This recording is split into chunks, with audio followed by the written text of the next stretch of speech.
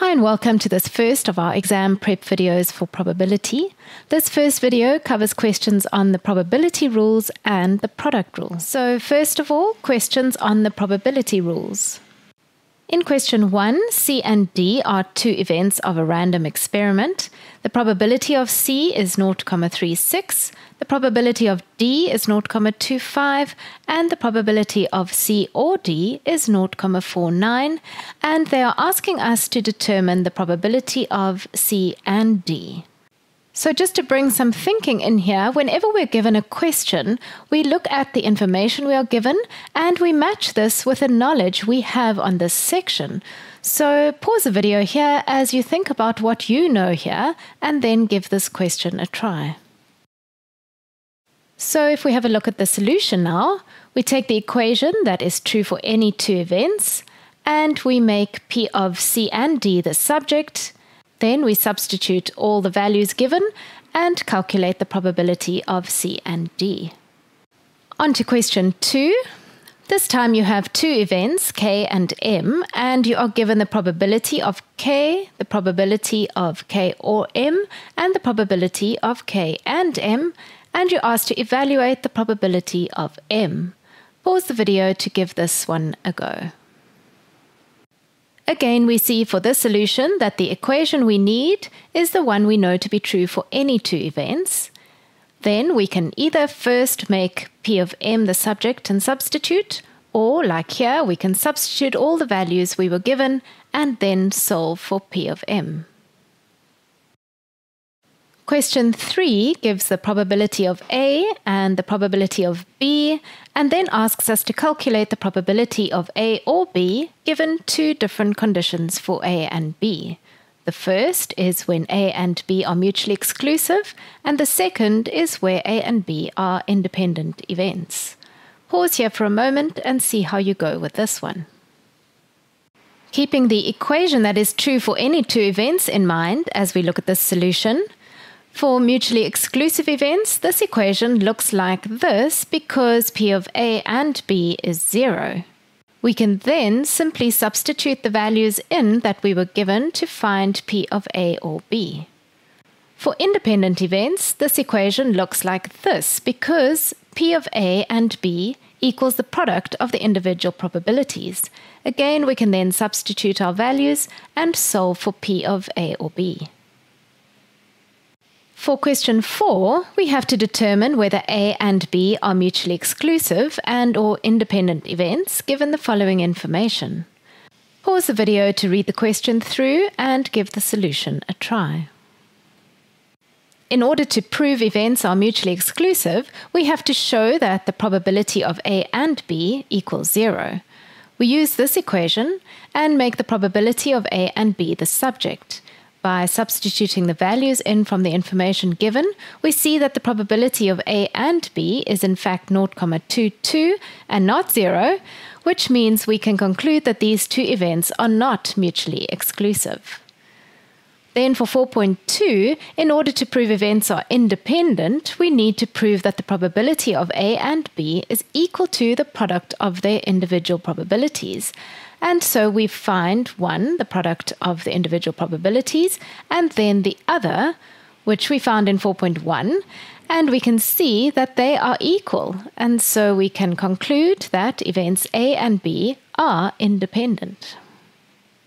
On to questions on the product rule now. Question one is about four people taking turns to throw a dice to see who starts a game. Pause the video to take a moment to read through the question and then give it a go. In order to determine these probabilities, let's first establish that the probability of throwing a 6 is 1 over 6, and the probability of not throwing a 6 is 5 over 6. And so then we find the probability that nobody throws a 6 by finding the product of the probabilities of each one not throwing a 6, which is 48.2%. Next, to find the probability of the first three throwing a 6 and the last person not throwing a 6, we find the product of each probability along the way. So 1 over 6 times 1 over 6 times 1 over 6 times 5 over 6. And this rounds off to 0.4%. what about the probability that at least one person throws a 6? Well, this means one or two or three or all of them throw a 6. And so here it is helpful to think of the option that is not happening, and that is no sixes. And if we remember, we calculated this probability in the first part of the question, and so these situations are there for complementary events, and the answer here is 51,8%. Finally, the probability that only one person throws a 6, so the probability of this will be the product of the probabilities where one person throws a 6 and the other three don't throw a 6. And there are four different ways this can happen only the first person throws a six, or only the second, or only the third, or only the fourth. And so the probability of only one person throwing a six is four times this, which is 38,6%. Question 2 says the probability of Isabella passing a driving test on the first appointment is 3 over 7. And then for each subsequent attempt after failing, the probability of her passing is 3 over 5 and they want us to determine the probability of Isabella passing the test in two, then three, then four or more attempts. Pause the video and give this question a try now. Let's first establish all the relevant probabilities. If the probability of passing on the first appointment is 3 over 7, then the probability of failing on the first attempt is 4 over 7 because these are complementary events. Then, for each subsequent attempt, the probability of passing is 3 over 5, and so the probability of failing is 2 over 5. So, then if we look at 2.1, the probability of passing in two attempts is 4 over 7 times 3 over 5. 2.2, the probability of passing in three attempts is 4 over 7 times 2 over 5 times 3 over 5. And finally, 2.3, the probability of passing in four or more attempts is the same as not passing in the first three attempts, and so we calculate this by going 1 minus the sum of the probability of passing on the first attempt, the probability of passing on the second attempt, and the probability of passing on the third attempt.